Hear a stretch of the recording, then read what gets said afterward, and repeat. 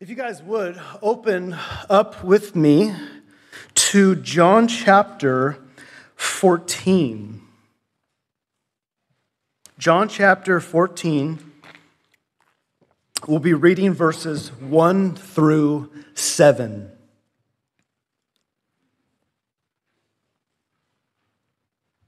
God's word for us this morning says this Jesus said, Let not your hearts be troubled. Believe in God. Believe also in me. In my Father's house are many rooms. If it were not so, would I have told you that I go to prepare a place for you? And if I go and prepare a place for you, I will come again and will take you to myself, that where I am, you may be also. And you know the way to where I am going. Thomas said to him, Lord, we do not know where you are going. How can we know the way? Jesus said to him, I am the way and the truth and the life. No one comes to the Father except through me. If you had known me, you would have known my Father also. From now on, you do know him and you have seen him. A familiar of familiar portion of scripture to us, no doubt. We know it well, we've even memorized it. And John chapter 14 is one of the most comforting passages for a believer in all of Scripture. It was Dr. A.L. Gaebelein who used to say that among his family treasures was a German Bible that went back many generations. He said that one can open that Bible to some pages and it looked like it had just come off the press. But when opened to John chapter 14, it was spotted, soiled, and worn from the tears of many generations. You can just picture the saints over the years opening up to John chapter 14, crying over its promises, crying over what they are currently experiencing in the sin cursed world that we live in today. We live in a world of trial and tribulation. I don't need to convince you of that at all. We are often tired of the world, our own flesh, our own sin, and the devil's schemes as the God of this world. What's our hope? What's our comfort as believers in this life right now? Titus chapter 2 and verse 13, Paul says that we wait for our blessed hope, the appearing of the glory of our great God and Savior, Jesus Christ. We as believers derive great comfort from the fact that Jesus Christ is coming back to take us with him. And until he does, we as believers in this life must continually look to Christ and trust what we'll see in this passage. We must look to him and trust his presence, his promises, and in his person. Those are the three points that we'll see in verses 1 through 7. Now, I want to explain a little bit of context and background as to what's going on and where we're at in John's gospel, because once we understand that, we will then be able to understand what Christ is saying in these passages. We are find ourselves right now in the middle of the upper room discourse with Jesus and the 11 disciples. I say 11 because we saw last time that Judas has just been dismissed to betray Jesus for the scriptures to be fulfilled. It is the night of Jesus' betrayal. Jesus is observing the Passover meal with his closest friends, his closest disciples, just hours before he will be caught, he will be handed over, and to be betrayed, arrested, abused, mocked, tortured, and ultimately crucified. Jesus has been warning the disciples time and time again that this was going to happen. This is not coming to the disciples by surprise. They are well aware of all that Jesus has been warning them the hatred, the animosity in Jerusalem towards the name of Jesus of Nazareth. And that animosity was raging hot this Thursday evening. The chief priests, scribes, Pharisees, elders, the councils, the Jews, they want his silence. And the only way to do that is to put him to death. The highest court in Israel wanted the disciples' master and friend put to death. Not only that, the nation of Israel is rejecting their Messiah, and they too want him silenced. But the disciples had left everything to follow him. They left their occupation, their friends, and their families to follow Christ. I imagine some of the disciples' friends or people that they had known in their own lives had already begun to reject the disciples because of their affiliation with Christ. Matthew chapter 19 and verse 27, Peter says, Look, Lord, see, we have left everything to follow you.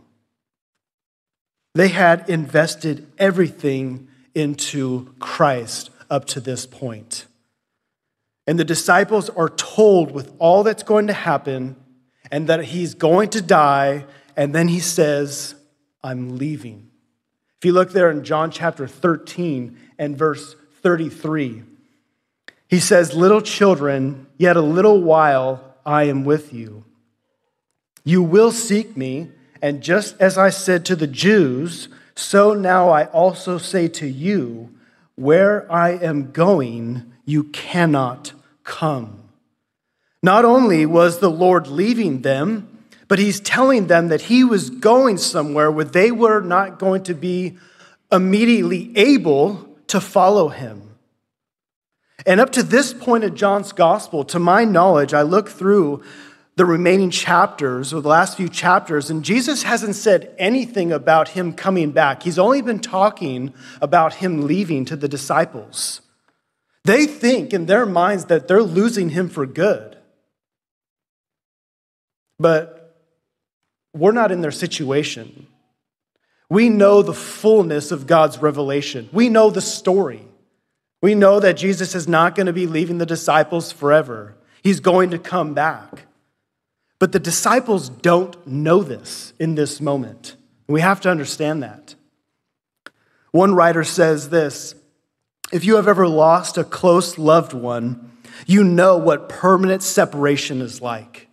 You can only imagine the feeling of losing one who was perfect, whose fellowship was so pure, whose wisdom was so trustworthy, whose touch could heal any malady whose strength was so reliable, whose love was so flawless. It must have been a bitter, overwhelming sense of profound loss.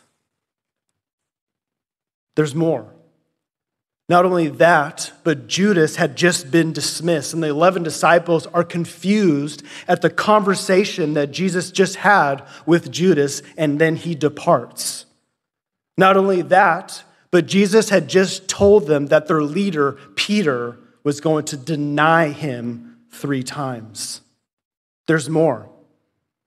Just a few days before this Thursday evening, in John chapter 12 and verse 27, when Jesus is talking about the hour to which he has come, he says, My hour has come. What is that hour? To go to the cross and all that it will take in that hour. And he says, Now is my soul troubled. And we saw last time in John chapter 13 when Jesus is talking about Judas betraying him, Jesus was troubled in his spirit.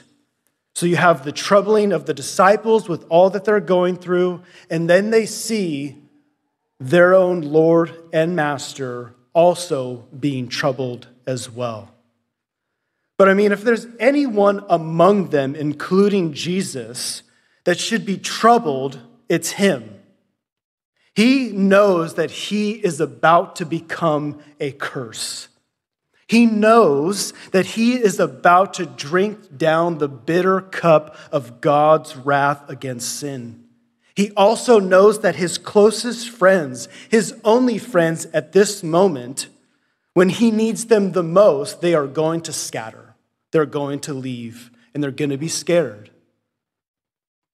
He knows that Peter will deny him with a curse that he even knows who Jesus is. He knows the thorns are coming. He knows those actual nails are going to be driven through his hands and in his feet. He knows the suffocation, and he knows that he is going to die. If anyone should be troubled in this moment, it's Christ. And yet, in the midst of Jesus' Jesus' greatest hours of distress and troubling, he seeks the comfort and benefit of his friends instead. That's a true leader. He was touched with the feelings of his disciples' infirmities. He felt and shared their sorrows. The disciples couldn't feel his pain, his troubling, because at the moment they are too self focused on their own circumstances. But as the perfect Savior, as their perfect friend, as their perfect elder brother, he seeks to comfort them instead of himself when he needs it way more than they do. But there's also a fulfillment of prophecy that's going on in our passage You'll look at time and time again in the book of Isaiah and see the character that's explained of the servant of the Lord. That's a, a term, a title given to the Messiah, the servant of the Lord who will come. In Isaiah chapter 50, one of those servant songs, in Isaiah 50 and verse 4, the Messiah the servant of the Lord speaks and says, The Lord God has given me the tongue of those that are taught, that I may know how to sustain with a word him who is weary. Just follow me for a second. In Isaiah chapter 61, a real familiar passage to us, when it's showing all that the Messiah will do when he comes to the earth. In Isaiah 61, this is the future Messiah speaking and says, The Spirit of the Lord God is upon me, because the Lord has anointed me to do what? To bring good news to the poor, to bind up the brokenhearted, to proclaim liberty to the captives, to proclaim the year of the Lord's favor, and to comfort all who mourn. This is what the Messiah will do when he comes to the earth. This is his character. This is his manner. This is his mission. This is his goal. What will he do? He will comfort his people who mourn. What's Jesus doing right now to his people? He's comforting them who mourn. He's fulfilling prophecy without them even knowing what's going on. With all the background of what's going on right now, he looks to the disciples and he tells them do not be troubled. It's a command. It's the first command in our passage. And he's not telling them to not start being troubled, they already were troubled. He is telling them to stop being troubled. I don't know about you, but when I'm nervous, anxious, or worried, and someone just tells me, just stop just stop. It, it normally never works. I need good reason. My wife goes through, goes through this with me for, for years now. I'm one of those parents that worries a lot of family and friends and especially my children, whom I'm a protector and provider, and they're my responsibility. And I'm one of those parents where as soon as I go to bed and my head hits the pillow, I start thinking of all those hypotheticals. What if someone comes in the window and takes my little girl? What if we're in the forest and a bear comes out of nowhere and eats all of my children? What if my youngest Amaya grows down the driveway and she gets ran over by a truck? I mean, it consumes my mind, especially when I'm, at, when I'm about to go to sleep. And sometimes I'll wake up, I can't go to sleep. Sometimes I'm sweating. And I come out and I tell my wife many things of what I'm thinking about, and she's just rolling her eyes and she just says, just stop. It just never works. It never, ever works. I need good reason. Jesus doesn't simply tell the disciples, just stop being troubled. He tells them that, and he gives them many, many reasons for them not to be troubled in their current situation. He wants the disciples to be comforted in their greatest hours of distress. And the way that they can be comforted is in those three ways that we're going to see. They need to trust his presence, they need to trust his promises, and they need to trust in his person.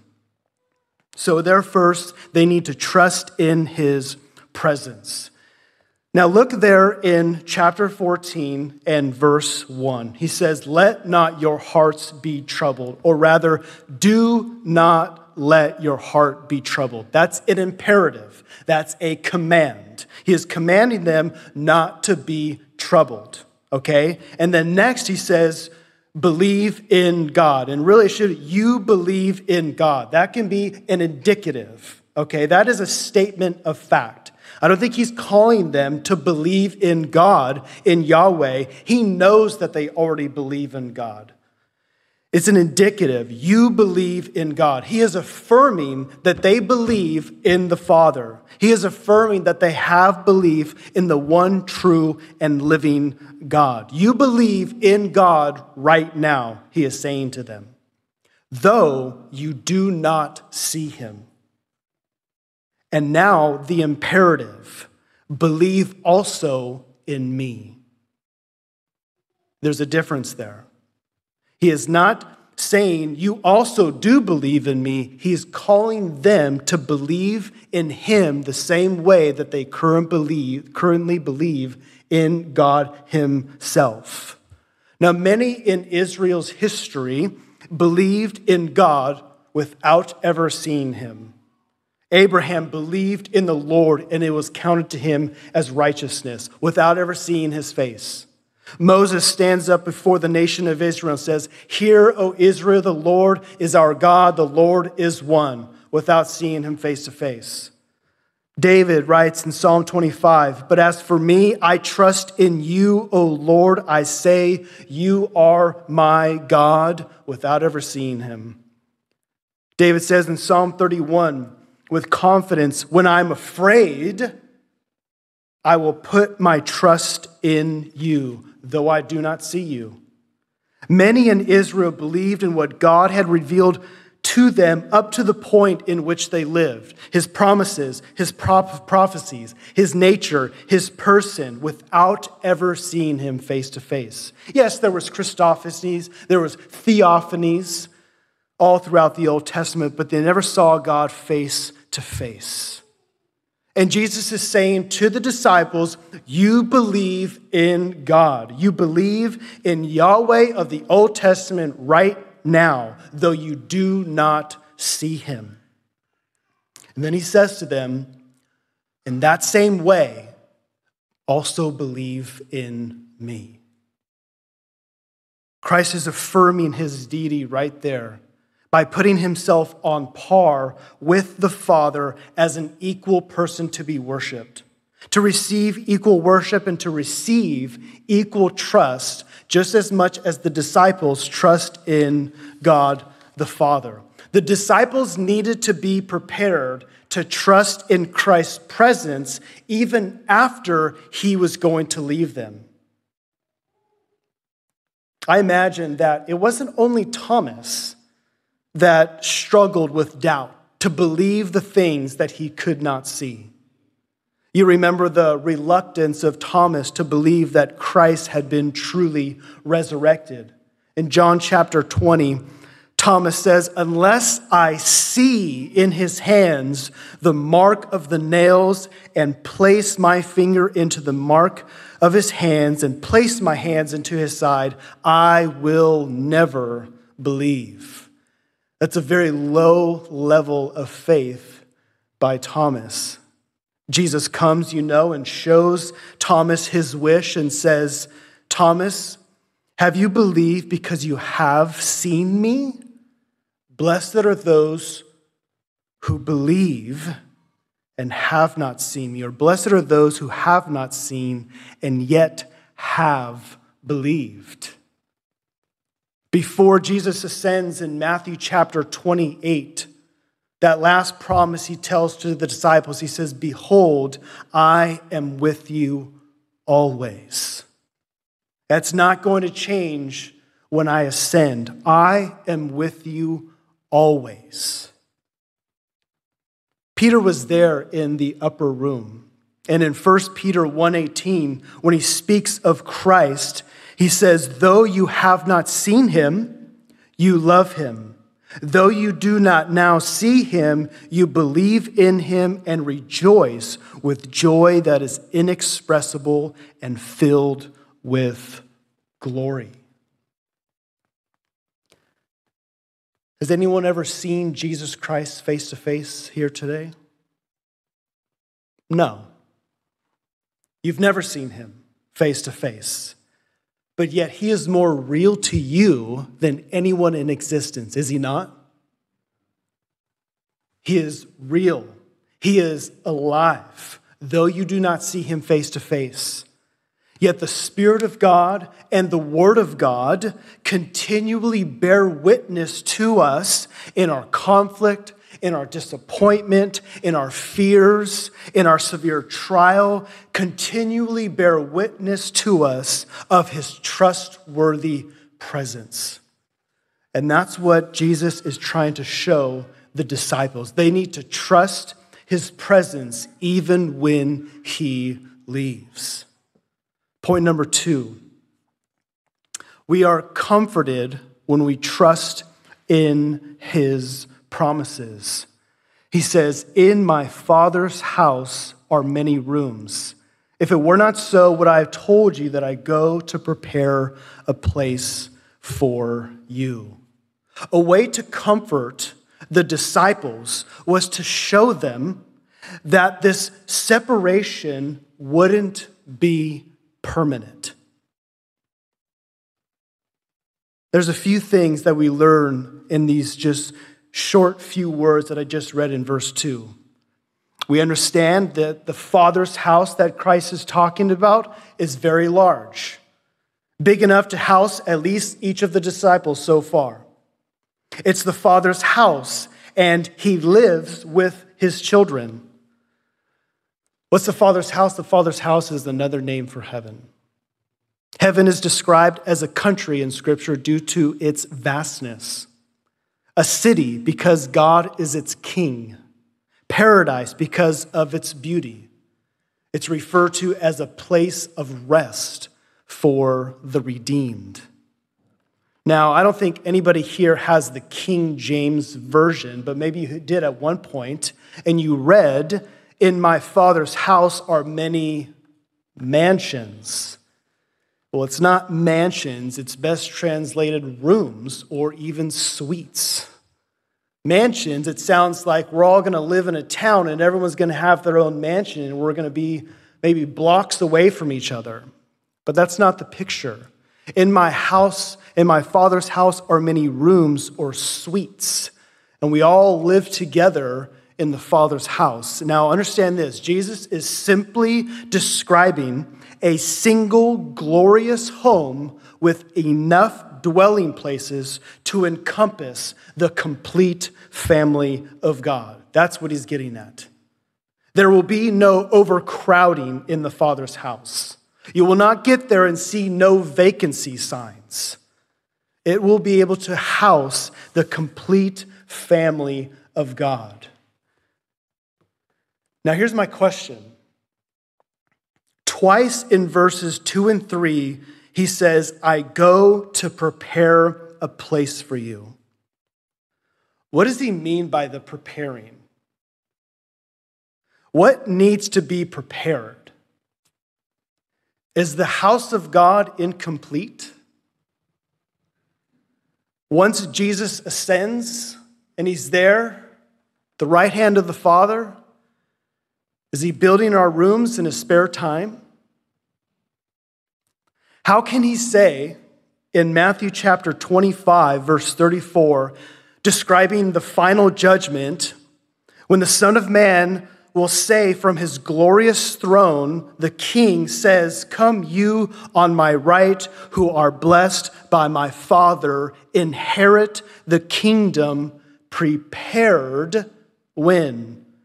For you from the foundation of the world. What needs to be prepared? What is Christ talking about? I don't know if I'm completely convinced of everything that he is saying. It's been difficult for me, but here's a couple of things.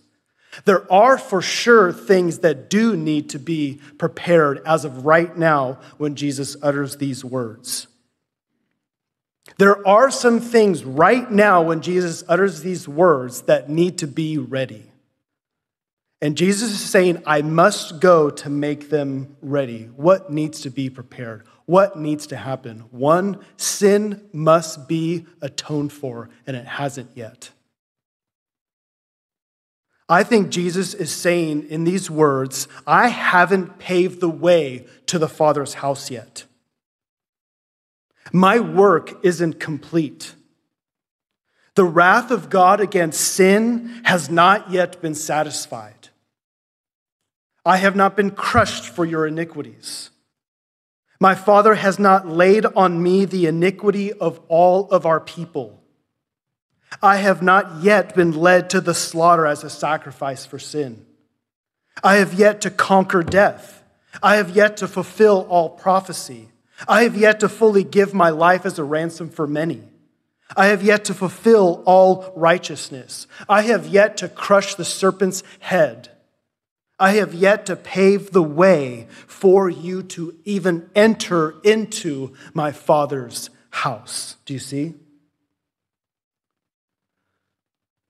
I think that there's more going on in this passage than just the preparations of heaven for our rooms. Let me just kind of recap for a minute with what we've seen and where we're going. He is saying to the disciples, the 11 disciples, do not be troubled. As you have believed in the one true and living God, believe, believe also in me. I am going to prepare all things for you. Do not hold on to me. I am going to, beginning this night, to destroy every obstacle in between you and your rooms in the Father's house. The way, the way to the Father's house isn't prepared just yet we can say, as of right now, when Jesus utters these words, heaven's doors are shut, sealed tight, without entry, until he does what? Until he goes to the cross, until he's resurrected, until he ascends and does all that the Father has commissioned him to do.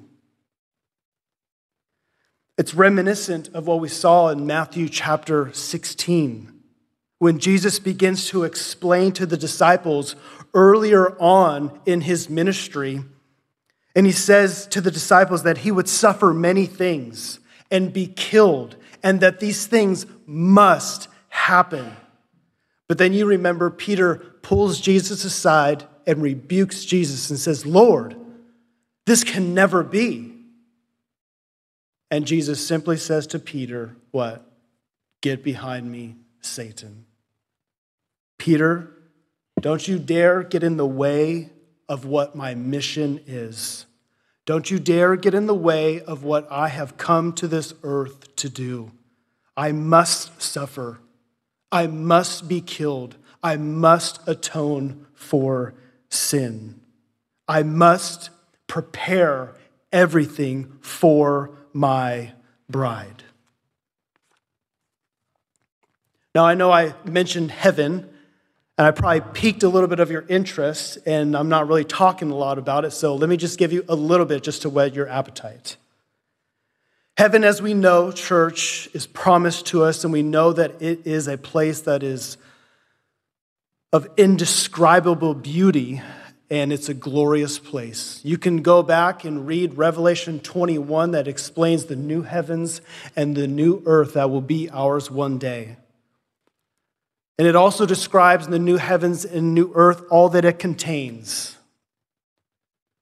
Revelation 20 describes the city in which we will dwell as a cube. And the size of that cube will be 12,000 stadia. Do you guys know how big that is? No? It's about 1,500 miles. That size in two dimensions is 225 million square miles. Sounds big. You probably still don't even know how big that is. The greater London area is only 607 miles compared to 225 million, mile, million square miles. It's estimated that 100 billion people could easily live there with comfort.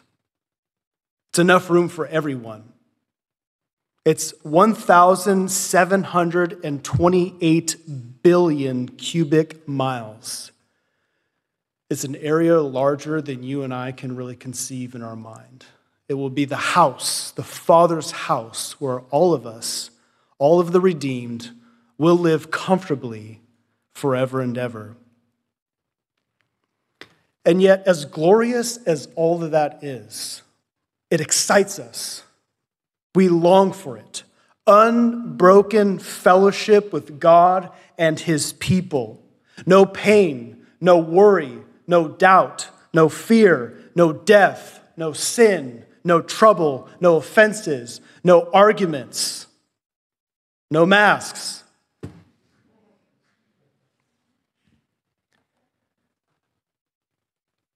I think if Jesus would have begun to describe the beauty of heaven right now to the disciples and all of its benefits, I don't think all of it really would have mattered to them as long as they're assured that Jesus is going to be there. All that heaven will have, it excites me. I look forward to it. I know what's awaiting me. Can't wait. But honestly, you can take all of it away as long as Jesus is there. Charles Spurgeon writes, he says this I bear testimony that there is no joy to be found in all this world like the sweet, like that of the sweet communion with Christ. I would barter all else there is of heaven for that. Indeed, that is heaven. As for the harps of gold in the streets like clear glass, and the songs of seraphs and the shouts of the redeemed, one could very well give all these up, counting them as a drop in a bucket if we might forever live in fellowship and communion with Jesus Christ. Did you get that? He continues one more. Oh, to think of heaven without Christ. It is the same thing as thinking of hell.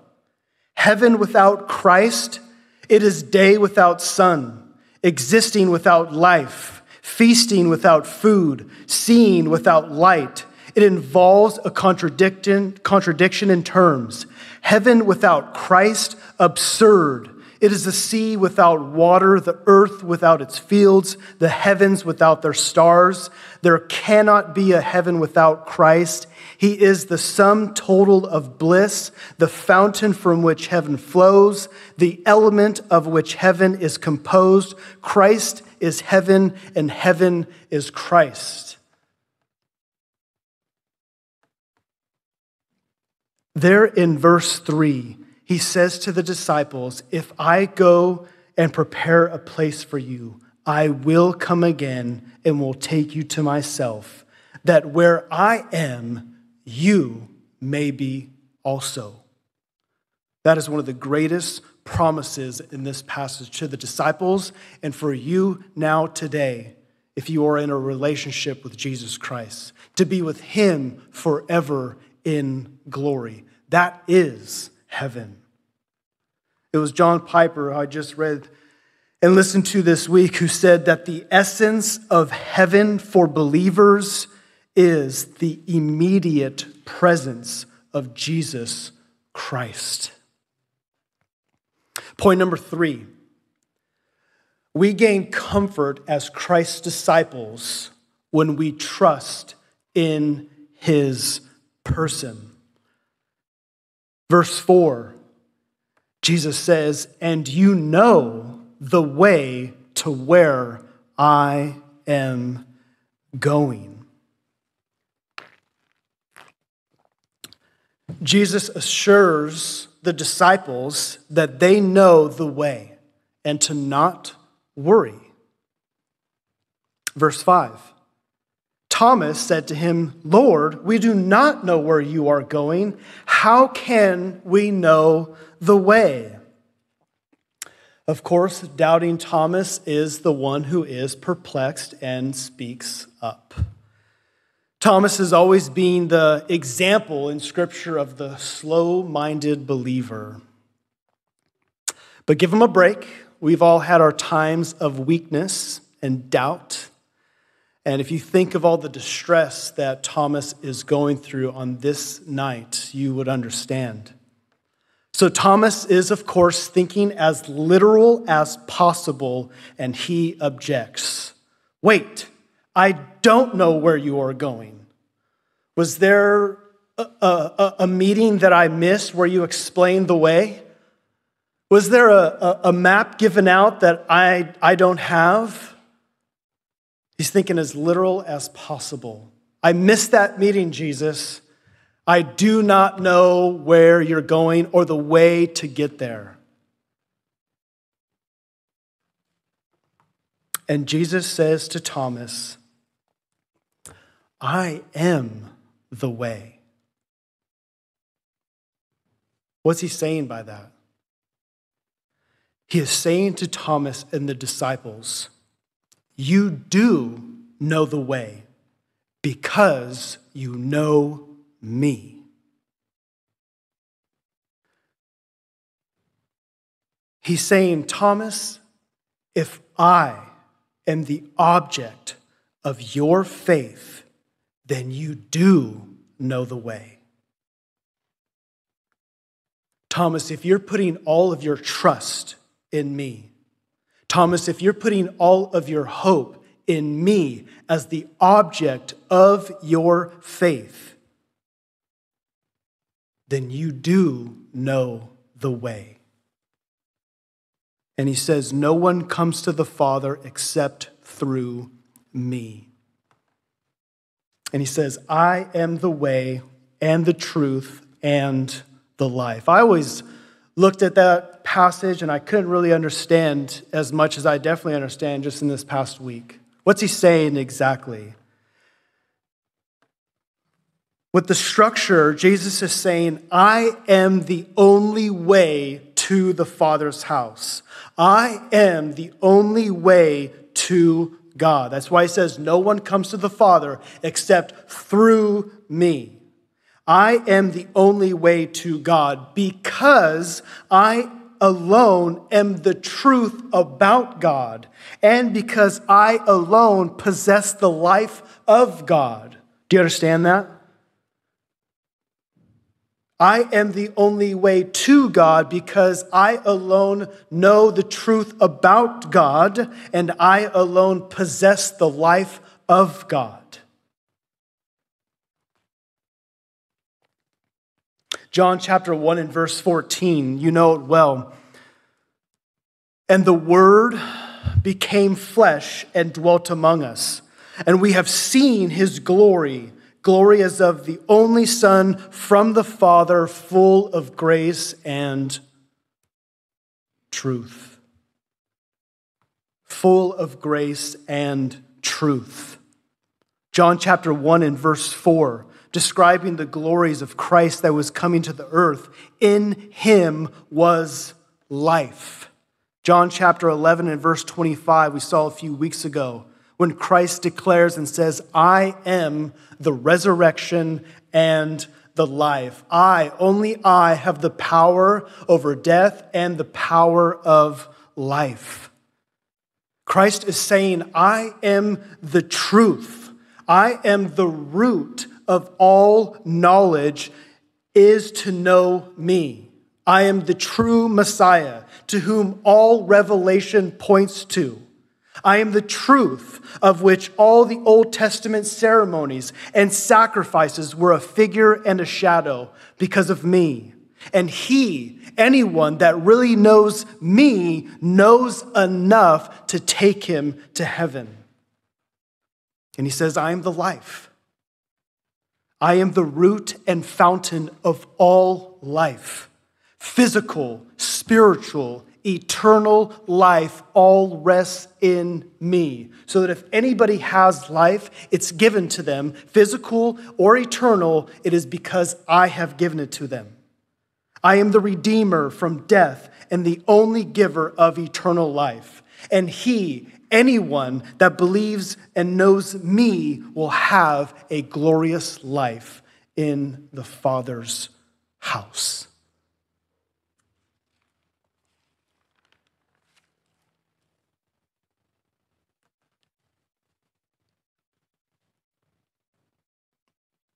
Listen closely, church. I listened to even Voddie uh, a couple days ago, and he was talking about the believer's hope for heaven. And he said this real simple the believer's hope for heaven is the continuation of an intimate relationship with Jesus Christ.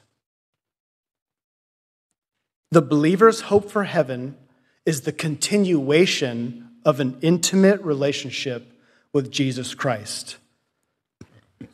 In verse 4, Jesus affirms to Thomas and says, You know the way to where I am going. Why? Because you know me. You have a relationship with me. You don't just know about me. You don't just have some form of intellectual knowledge about who I am. You know who I am, and you have forsaken all to have a relationship with me. When we die, understand this, church, when anybody dies for that matter, it will not be the start of a relationship with God.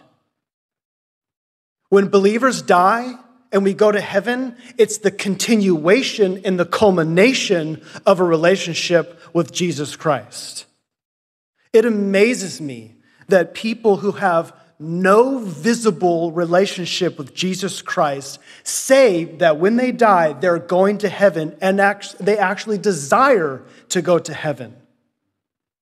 Just explain what heaven is and they should be stunned. Unbroken fellowship with God, His Son, the Spirit, with all of the redeemed. That's what heaven is. And unbelievers across the world say, I'm going there, but do none of that in the life they live right now.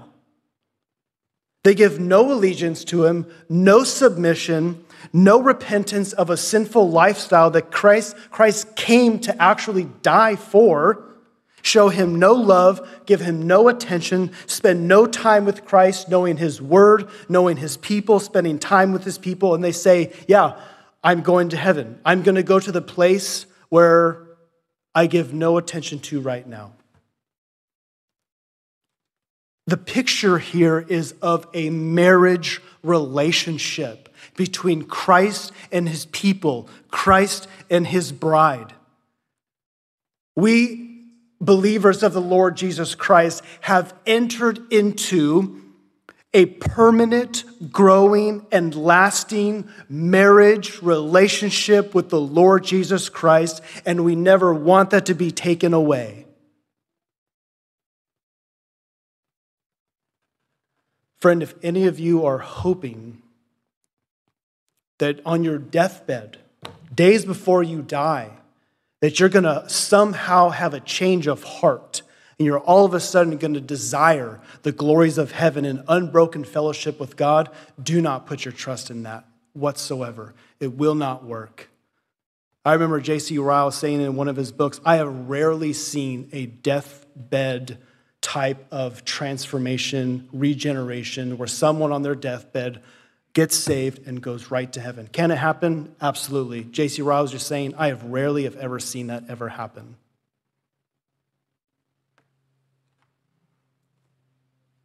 If you're joining us today, that will not work.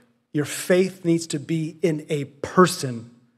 And your faith needs to be in a person right here and right now. Do not put it off any longer. You will sear your conscience over and over and over again. And Romans says, Romans chapter 1, Paul says that God will just finally give you over. Today is the day of salvation. Salvation from the consequences of your sin can be forgiven today.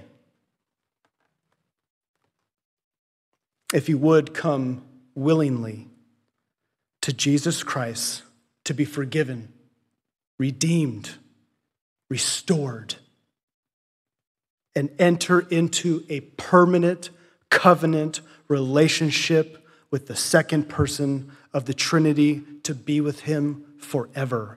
Heaven for us as believers starts now at the moment of salvation.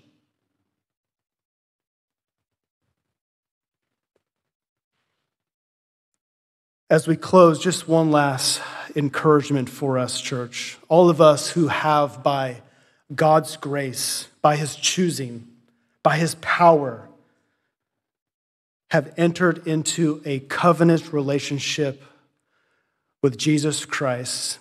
Here's just one thing I saw this week I want to share with you. You remember in Acts chapter 7 when Stephen gets up and gives that sermon, that defense to the Jewish leaders concerning Christ as their true Messiah.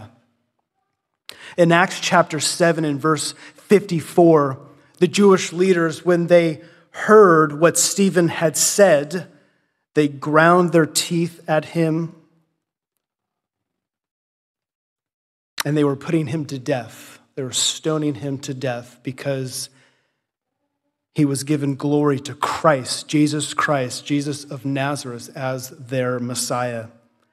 And it says in chapter 7 and verse 54 But he, Stephen, full of the Holy Spirit, gazed into heaven and saw the glory of God. And he saw Jesus standing at the right hand of God. We often speak of Jesus ascending and what? Seating at the right hand of God. Well, what's the point? It's this. When one of Jesus' chosen ones dies, one of his sheep go to him, one of those who make up his glorious bride, Jesus, the bridegroom, stands to welcome us into his home that he has prepared for us. He stands to welcome his bride as the perfect bridegroom. We, church, are comforted only and always because our faith rests in the person of Jesus Christ. Amen. Let's pray.